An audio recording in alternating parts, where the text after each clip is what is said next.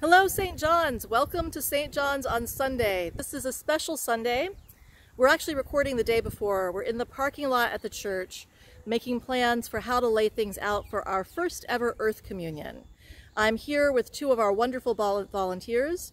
That's Claire Wagner with the Painted On Smile to my to one side and, uh, and Bill Serber with the whole universe to my other side.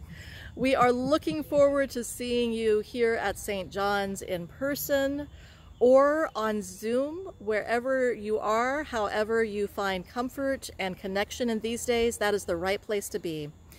For today's service, we are going to offer a short version of our regular service followed by a drive-through and in-person gathering of earth from your gardens, or if you um, are in an apartment, just bring a tablespoon of uh, of, of potting soil from your pot, potted plants and come down and join us. After we're done, we will bless the soil, honor our gathering, and place it in our memorial garden. My friends, it is good to be together. It is good to be on this edge of springtime. It is good to be St. John's with you. Welcome.